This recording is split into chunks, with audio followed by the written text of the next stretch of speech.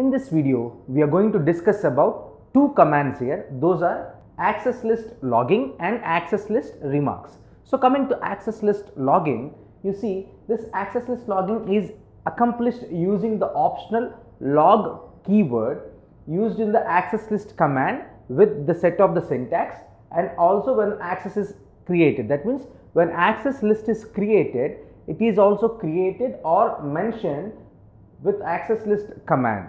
So what is this log keyword for?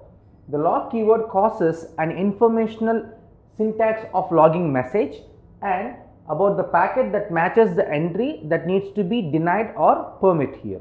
That means this log is used to information logging message. That means you should have the information about the denying and permitting of the traffic of the data packets.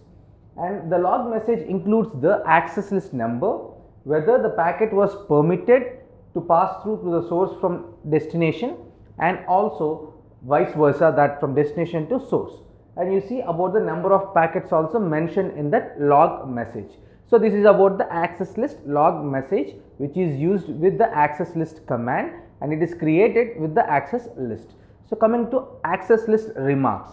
So you can include comments or remarks about the access list and individual entries and named IP addresses here. So coming to the remarks, the access list remarks is simply an optional comment before the permit or deny of the access list entry that describes the entry in a plain text format. So to get the information about what is getting denied, that means what, what data is getting denied and what data is getting permitted here. So coming to the remark can go before and after a permit or a deny, deny command so that you should be consistent about where you have been denying this and also your remarks is clear that where it has to be permitted. So this is about the two commands in access list which are access list logging and access list remarks which we use in when we are using the access list command here.